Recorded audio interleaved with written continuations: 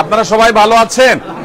আলহামদুলিল্লাহ, আমরা ঢাকা থেকে আসন্না ফাউন্ডেশন থেকে এসেছি সারা বাংলাদেশের মানুষের ভালোবাসাগুলোকে প্যাকেট করে নিয়ে।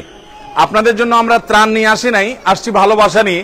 হয়তো প্যাকেট খুব বড় না, কিন্তু এটা আন্তরিকতা থেকে, ভালোবাসা থেকে আল্লাহর অনেক প্রিয় বান্দারা আপনাদের জন্য নিবেদন করেছেন। আমরা তাদের আমানতটা আপনাদের কাছে পৌঁছাচ্ছি। আলহামদুলিল্লাহ, গত বছর সিলেটের বন্যায় আমরা প্রায় দশ হাজার আপনার ফ্যামিলিকে আমরা বিভিন্নভাবে সরাসরি আমাদের ত্রাণ থেকে উপকৃত হওয়ার তৌফিক আল্লাহ তালা দিয়েছে, সেটা আমরা করেছি এবং এক হাজার ঘর আমরা মানুষকে বানিয়ে দিয়েছি, অর্থাৎ পুনর্বাসন কার্যক্রম করেছি। এক হাজার কৃষককে আমরা নগদ অর্থ সহায়তা করেছি।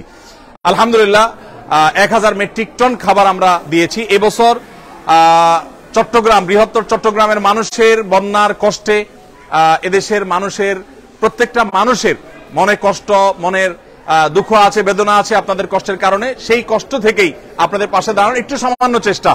আজকে এখানে কিছু শুকনা খাবার রাখা আছে, যেখানে পাঁচটা করে স্যালাইন আছে এক কেজি করে চেরা আছে এবং এক কেজি করে খেজুর আছে। খেজুরটা অনেক পুষ্টিগুণ সমৃদ্ধ একটা খাবার, যে সামান্য কয়েকটা খেজুর খেলে আমাদের খাদ্য শক্তি এখানে অনেক বেশি, আমাদের অনেক এনার্জি তৈরি হবে।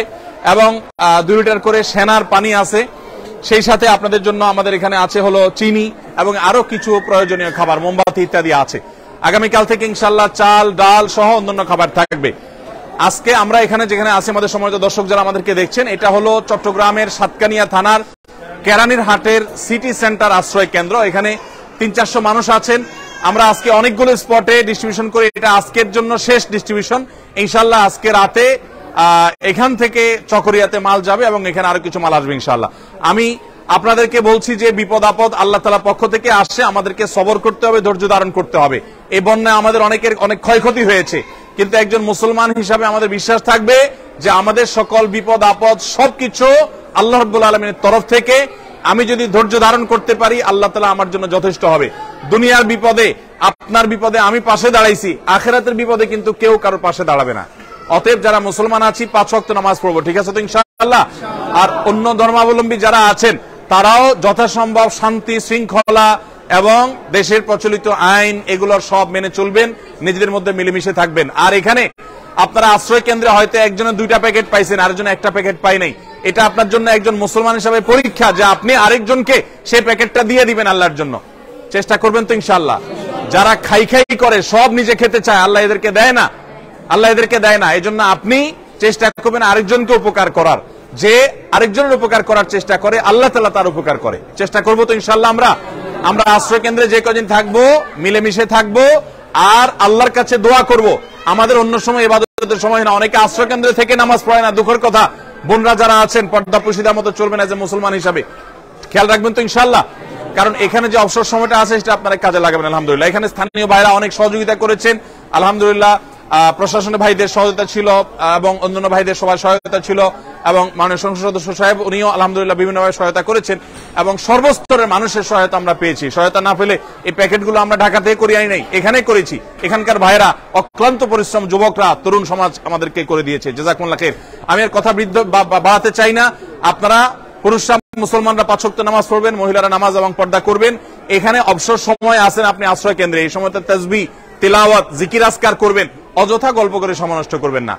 আল্লাহ আপনাদের যে ক্ষতি হয়েছে বন্যার কারণে, সেটাকে অনেক গুণ বাড়িয়ে দিয়ে পুষিয়ে নেওয়ার তৌফিক দান করুন। এবং আমাদের সবাই দুনিয়ার বিপদের পাশাপাশি আখারাতের বিপদ যেন আমরা দূর করতে পারি, আল্লাহ সেই তৌফিক দান করুন। আপনাদেরকে আমা- আপনাদের ভাই হিসাবে আমি নসিহত করে যাচ্ছি, এখান থেকে যাওয়ার পর আজকের মসজিদ থেকে এ ত্রাণের চাইতে বড় জিনিস যেটা নিয়ে যাবেন, তা হলো পাঁচক্ত নামাজ কখনো ছাড়বেন না।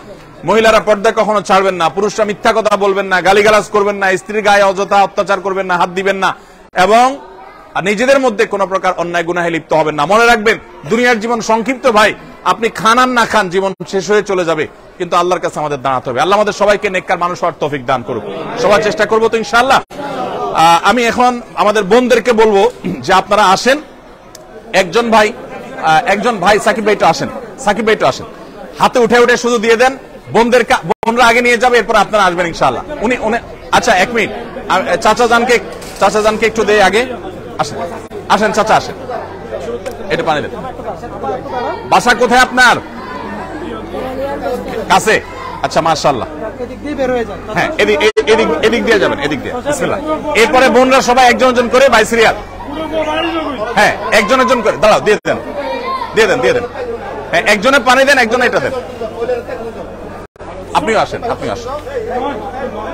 হ্যাঁ? না হেল্প করার লাই। আপনি আসেন। ওনার হাতে তুলে দেন, সাকিবের হাতে তুলে দেন।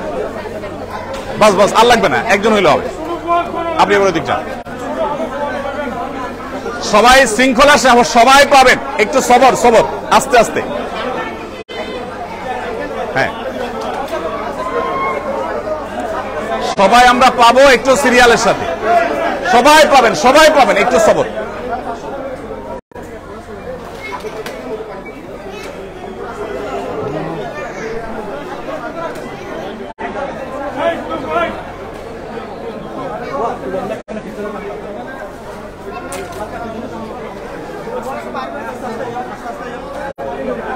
হ্যাঁ ওই দিক দিয়ে চলে যাবে